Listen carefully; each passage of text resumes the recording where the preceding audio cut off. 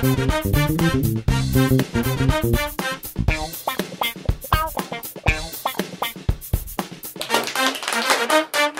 い、どうも皆さん、こんにちは。新日本のわけ、ポッドキャストの時間がやってまいりました。霊霊者マルコでございます。広瀬和夫プロデュース、もっと新日本のわけ、スピンオフの落語会の宣伝のためにやっております、このポッドキャストでございますが、まず私が霊霊者マルコ、そして、師匠甲子園の代理で参りました貸しそして流亭信楽です。我々のプロデューサーがこちら。広瀬和夫です。よろしくお願いしますいや、ずっとね、あの、小白師匠の代理で、かしめ君に来てもらってて、はいで、小白師匠も、いや、遠隔なら参加できるんだよってはい言って、で、まあ、今回どうしますかって聞いたら、はいあの、広瀬さんが、まあ、かしめ君いるから大丈夫でしょうっていうことで。まあ代理で伺ってますす。代理感がない。レギュラー感。完全にレギュラーですね。こちらだと思ってこの間も落語会の時アフタートークでいつの間にか入れ替そわってうだ、あそこもいた。えそうですよそのうちの大事師匠すぎるだろ。い。やうちの師匠いや最初は師匠いましたよ。だけど、そので師匠からポイってなったから切り替わろうと思って僕が切り替わって。で違和感なさすぎて。そう誰か言うから。おいおいとかツッコミもなく普通に参加して。にそうつく祭りあこれ来ないなと思って。僕にもなんですけど師匠と変わらなくて大丈夫ですかみたいなありましたけど。ありがたいですね。いやだから楽屋でねはい久々に小白さんに会うと緊張するよね。久々すぎて小白の集いで講座に出てる姿しか知らないあからオフで会ったことがない。いやありますよ。本当にね全然来ないもんね。まあてかまあ本当に今東京いないですからいないもんね私では僕自身も月買うか買わないかぐらいなので正直この間もすぐ飛行機行っちゃいましたもんね。ちょ終わってすぐ直でしたね。本当にめちゃめ広島行くとかなんとかあ、広島だったんですか。すごいじゃん。ほとんど東京ないと思いましたねなんかずっと対馬にいる人みたいなイメージですけど私なんかそうでもあちこち行ってる。対馬でもないんですよね。そう。対馬にも行ってるけど、対日本全国渡り歩いてる。海外も行ってるし、ですですです。韓国。まあそんなわけでねはい。NHK の新人落語大賞。そんをなわけですアフタートークで話題になりましたそんなわけですね。ちょうど時期ですね。もうすぐ。まさにもうすぐですよ。温泉だというぐらいの配信で。す。そう去年からまあ生放送になったわけですよ。ねそうですよ。決勝がそう。まあマルコさんはね大賞受賞者ですから。いやすごい。過去の栄光ですよ。いやいやもう輝かしいっすよ。ね言わないと忘れるからね。いやいやいや、答え教わりたい、言ってきましょう。今それこそ新日本ののプロフィールがあるんですけど YouTube のところに。だからそれをちょっと新しくした方がいいんじゃないかってあーなるほどね。やってる方から連絡いただいて。確かにと思って丸越の経歴見たんですけど輝かしすぎて。輝かしい。どんなふうに端じゃないですよね。だってもう賞たるめちゃくちゃ賞取ってる。本当に賞たる賞取ってるって感あまあ賞を取らないと仕事がないってことが途中で分かったんで。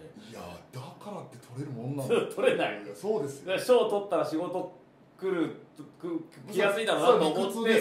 みんな取りたいんですけどそうそうそう。取れないのそれががみんな。取れないのがみんななんで。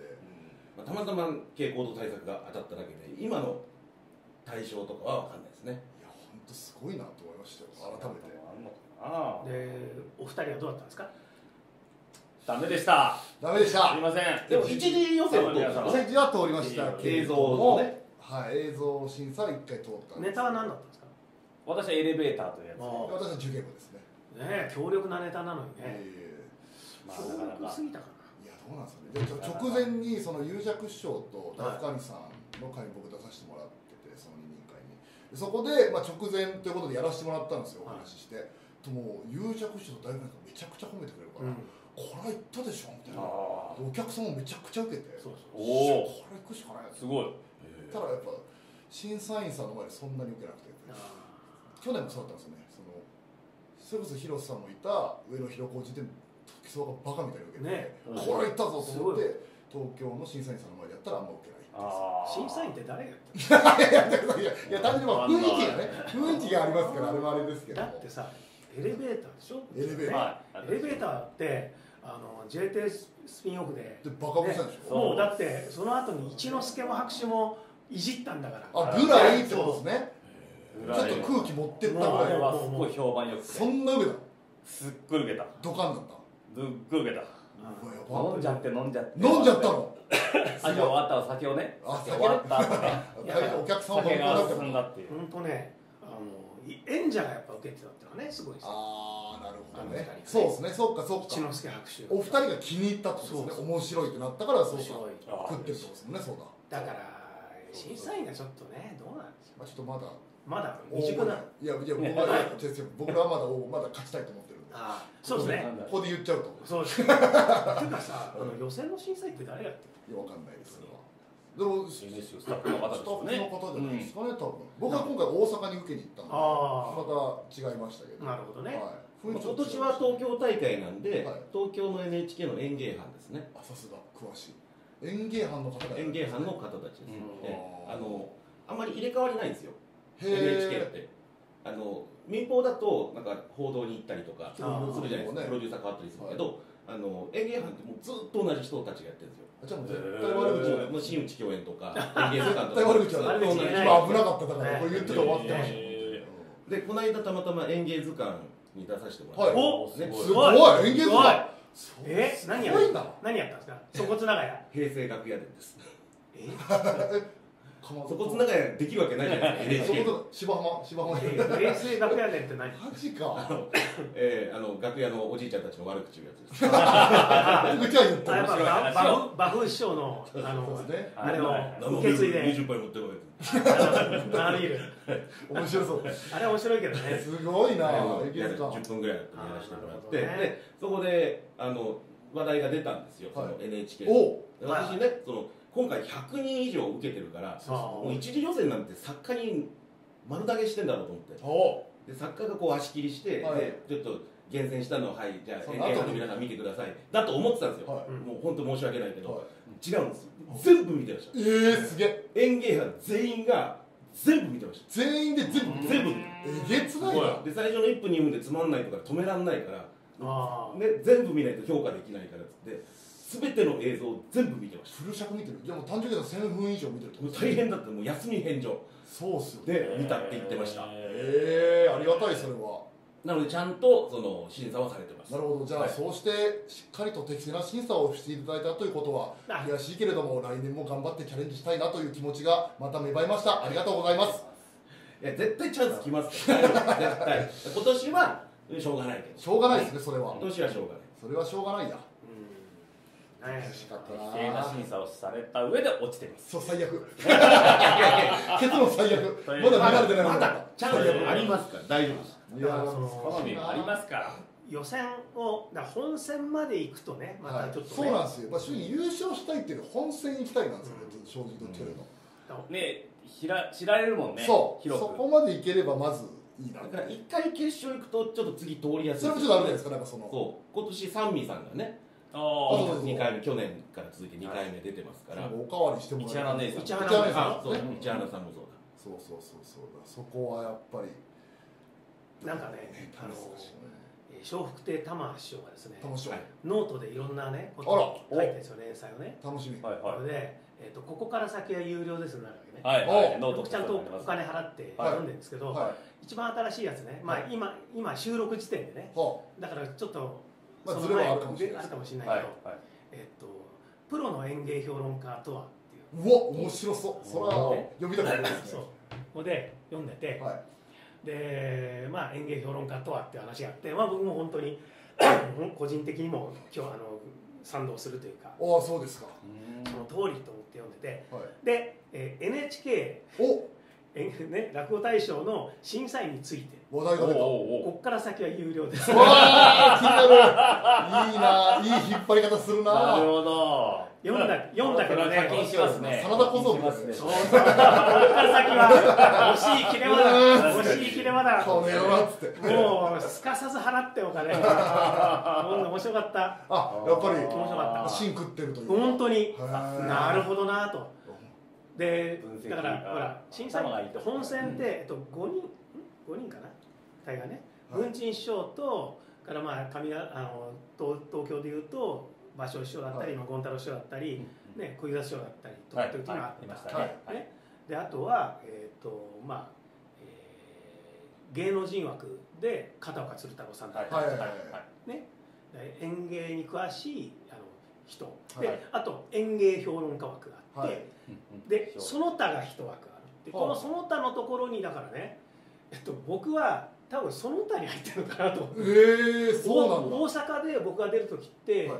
堀井さんだったりはいはい。堀健一郎さんだったり、あるいは大阪のその、えっと評、園芸評評論っていうか、まあ、関係の人はいはい。はいがやってるからその他なのかなそのと バーンの人として呼ばれてる。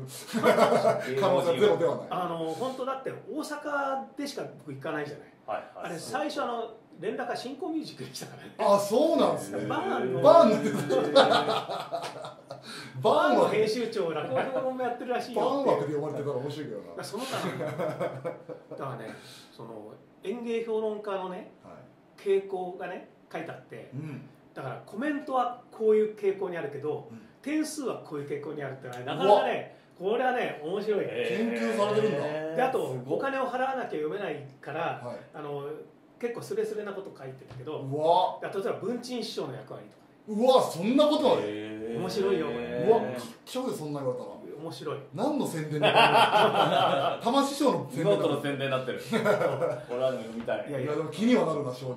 まあで演芸評論家っていうのはねどういうものかっていう話なんだけどっていうことでだから、い。今ね、えっと、NHK でいうと本選のあの審査員になった人間ってやっぱりそれなりにねはい、あので全然本当にみんな何のしがらみもなくやるじゃない。うん。でそうするとその人それぞれのあれが出てくると。はい。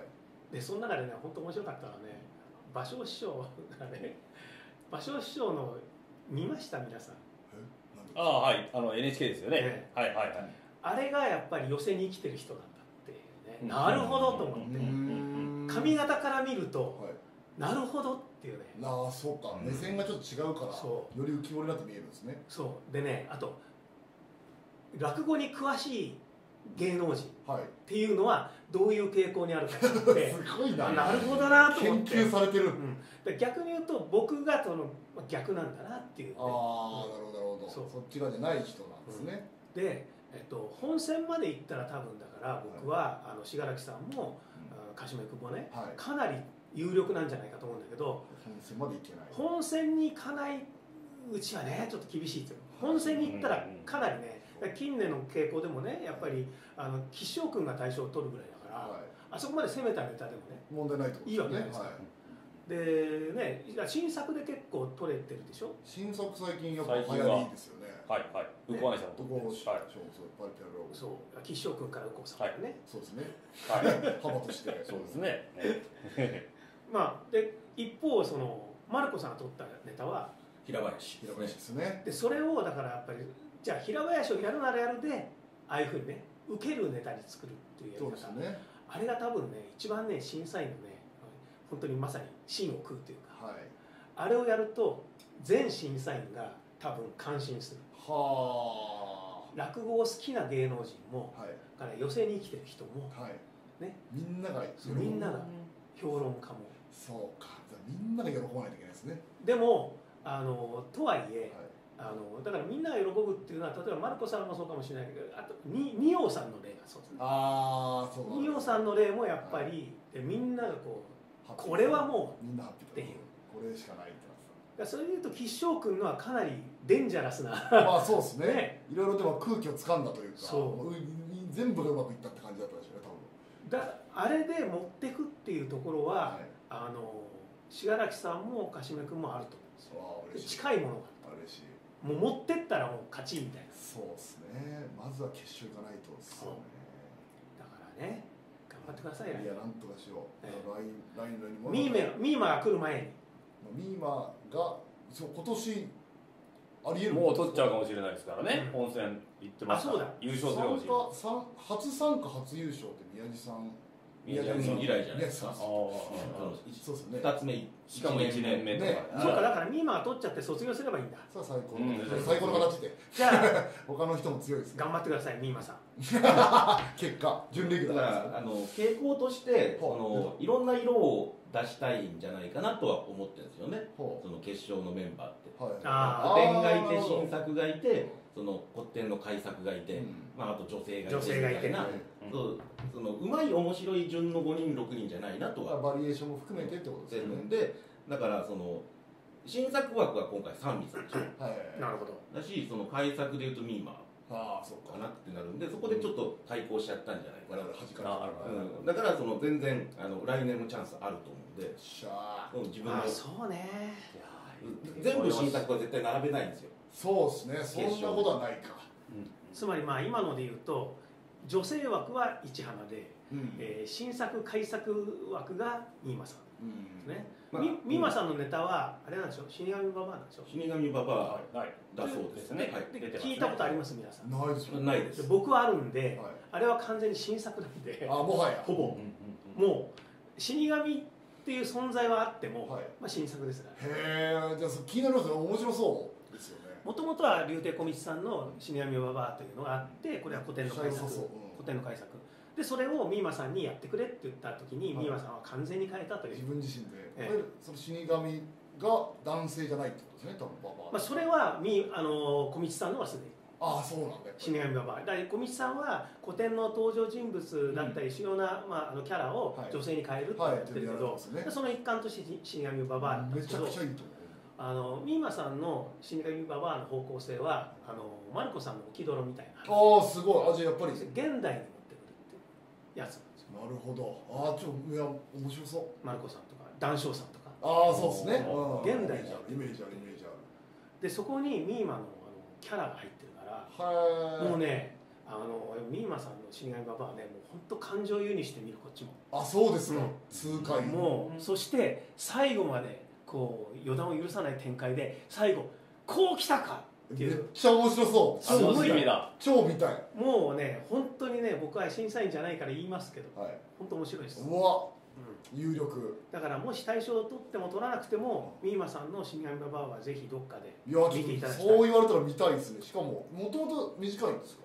だからもともと短くないのよ。そうでしょ。ちゃんと死神だから。30分あるでしょうね。それを短くして通ったってことは僕は逆に短くしたの聞いてないんで。確かに。どうねこうカットしてるのかも気になりますよね、ものすごい早口なんじゃないですか？3倍対決3倍速。でしょそれあれだよね。そんな。それシンシン・ゴジラ。シン・ゴジラがセリフの量が多いからみんな早口だ。ーっていうその脳筋解決じゃないしそれはそれでおもろい通ったのすごいな。これで通ったんですよい。や本当面白いですよ。だから来年も来年あれやりましょう。イレブンワングランプリやりましょうよまた。何それ？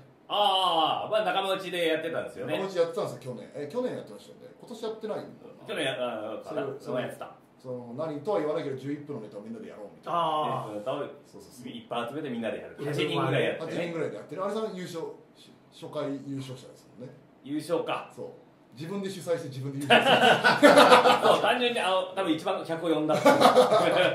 お客さん投票お客さんお客さん投票いやいやネタ何やったんですかそれ覚えてえ？返信だと思いあまあじゃあねそうでしたね協力ですよね。そうですね。もうザうん信楽がね。ザ・信楽のネタ。あれ面白いもんねやっぱあ本当ね返信はね、まあ、何とは言わないけどネタネタを言うネタバレはしないさせないけれりどもそうですね、うん、あの世界観、あれはいや僕は結構やっぱり信楽兄さんにクってなったのはあのネタからなんで、まあ、僕もねす僕は最初は僕は最初は時計店に行ってたんだけどあ時計店ああれも俺ですけど。あれすごいよ。あの時計店の店主がすごいとにかくすごい。やっぱりなんか本当に最初のパンチ力とその持続力で時計店見てもそうなんだ。だから変な人がいて変な人そうでその人は動じないんだよそうっす。変なやつはなんかず 主人公はっと同時してる周りに。えーってなってるのにあ 何なんだこの人そうはなんかそのバランスはやっぱ絶妙。変なやつ。っていう変なやつ。変なやつ。気持ち悪いとかその説明。が気持ち悪い。気持ち悪い。ラインスタンプ出してほしいな。音付きのあのなんか喋るラインスタンプで、ね。気持ち悪いっていう。あやつ気持ち悪い。変なやつ。変なやつ。叫ぶだけ。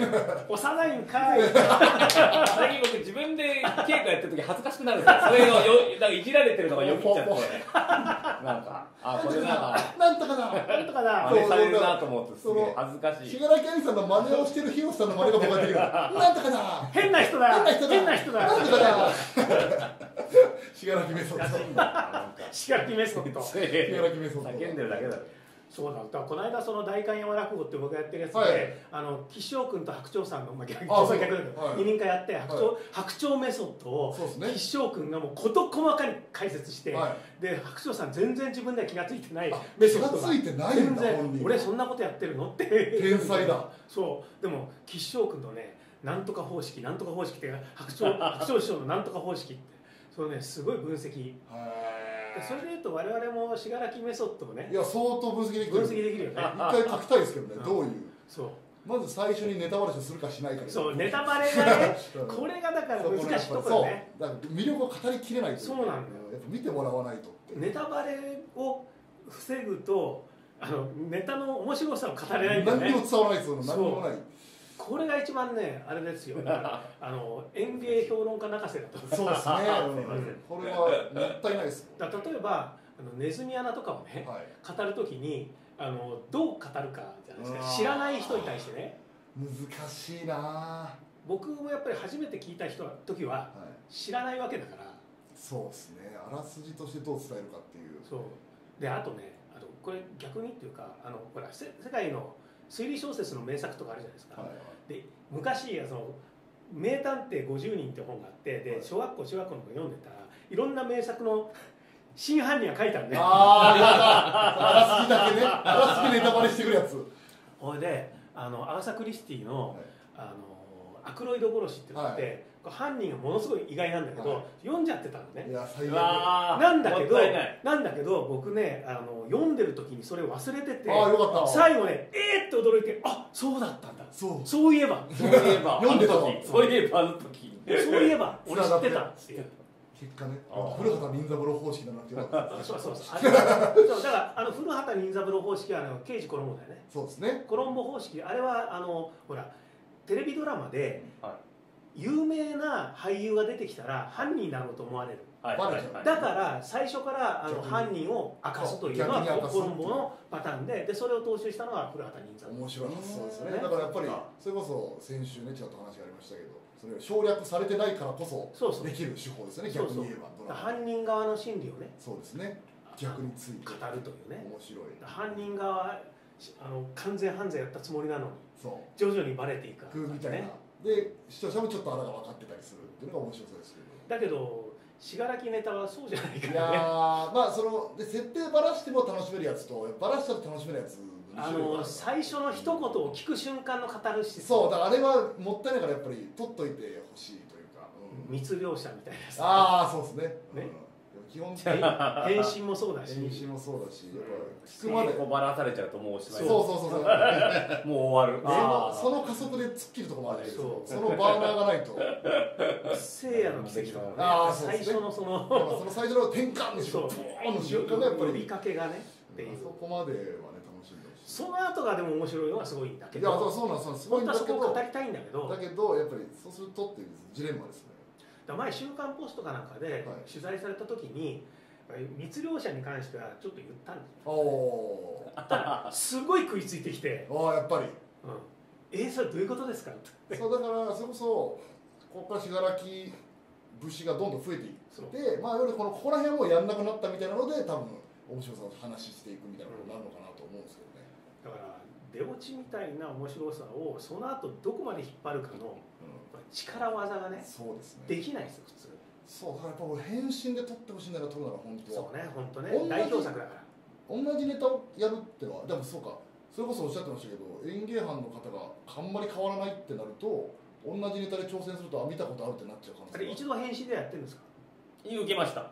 変身やってますよね。はい VTR で映ってます。あでその次が？何やったっけあれかあのー、あれ？えっ、と出生の秘密？